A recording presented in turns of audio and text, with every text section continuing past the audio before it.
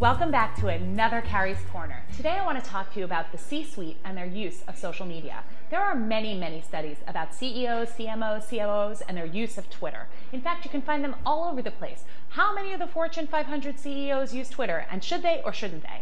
I actually am going to tell you that I think these studies are missing the boat.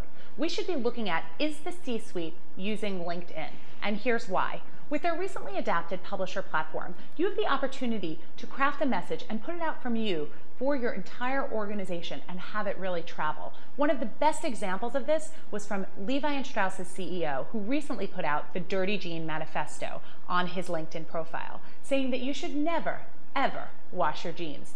It was actually a brilliant use of the LinkedIn publisher platform because it was able to give his voice a voice, do it in a way that he doesn't have to keep up this massive social media presence, and be able to really make a statement on behalf of the company as a leader of the organization. And so I would encourage you to look at the exact same thing. Are you publishing your own manifestos, your own thoughts, your own feelings on the LinkedIn publisher platform? If not, you should be.